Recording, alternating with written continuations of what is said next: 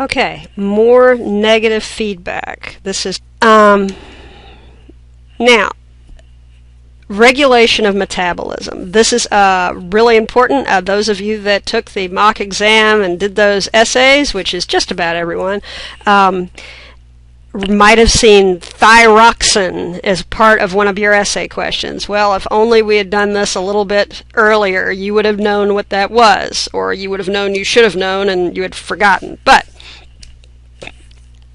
um, the thyroid gland is really important in uh, your metabolism. Okay, here's how it works. The hypothalamus, again, what is that? Part of your brain. It's a nervous tissue. And so in our flow chart, it is right at the top. Okay, so that will, if it is detected that your body needs activity from the thyroid gland, the hypothalamus will begin secreting TRH, um, uh, which is thyroid releasing hormone, okay? Or I'm sorry, TSH releasing hormone. So here we go. I misspoke. Hypothalamus is going to secrete releasing hormones that affect the pituitary gland, and there's the pituitary gland, okay? Then the pituitary gland says, okay, I'm getting this signal from the hypothalamus. It's, te- it's sending me this releasing hormone, so I've got to release some TSH. TSH is thyroid stimulating hormone. So TSH releasing hormone causes the anterior pituitary to release TSH. Now, thyroid stimulating hormone further stimulates the thyroid. The thyroid gland is in your throat area and it produces hormones called thyroxine hormones. Okay? And they have tremendous roles in how you metabolize nutrients and in your development. Bone growth is affected by them, your mental development is affected by them, how you use energy, your blood pressure, your heart rate, but just a myriad of, of, of uh, really important uh, processes is uh, controlled by these thyroxine hormones. Okay.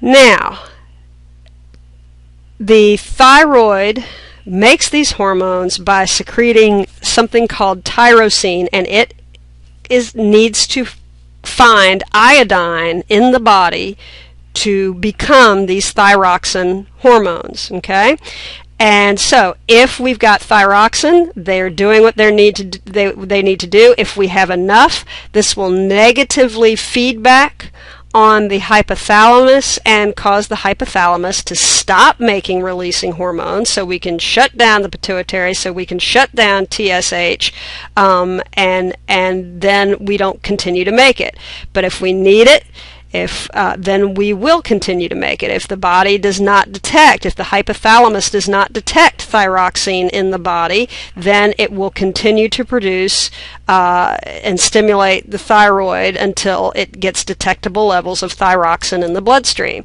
Now, here's an interesting problem. Why do we have iodized salt? Well, because iodine is not always plentiful in our diet, and so one way to get it is to put it in the salt that we put in our food. And so, um, why do we want these the, to, to, do that? Well, um, iron deficiency I'm sorry, iodine deficiency causes the thyroid to enlarge, okay? Because if you don't detect if you don't have iodine, then the thyroxines don't get made. So your hypothalamus never gets notified that you're making thyroxine because essentially you're not. Uh, it's not combining the the the um, the hormone the the product of the thyroid gland is not getting combined with iodine to make the thyroxine. So essentially your hypothalamus is just permanently turned on with result with uh, regard to this, and the thyroid keeps trying to be to produce the uh, the the tyrosine that it's that is needed. Okay? If there is no iodine, then that step doesn't happen. We're not going to uh, turn off this part of the feedback loop. In fact, it's going to stay on. And so what we get is this crazily enlarged thyroid gland as it is stimulated to just keep making uh, the, the tyrosine over and over and over again uh, and to no avail because there's no iodine to, to combine with it. That's goiter. And there's your iodized salt. Okay? Um, blood calcium levels. Okay, this is another really easy hormonal control uh, system to learn about. Okay, if your calcium level in your blood is too high, the thyroid, another use of the thyroid gland, okay, is going to be stimulated to produce a hormone hormone called calcitonin. What's it called? Calcitonin. Okay? And it will cause the kidney to reabsorb calcium. So we're going to get out of the blood because it was too high in the blood. Okay?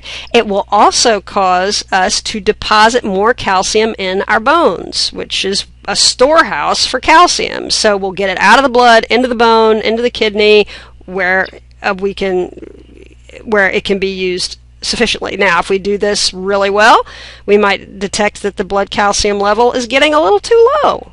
Okay? In this case, other glands nestled in the thyroid, symbolized by these red dots, called the parathyroid glands, okay, will secrete a different hormone. They will be stimulated to secrete parathyroid ho- hormone, or PTH, okay, which has exactly the opposite effect. It will cause um,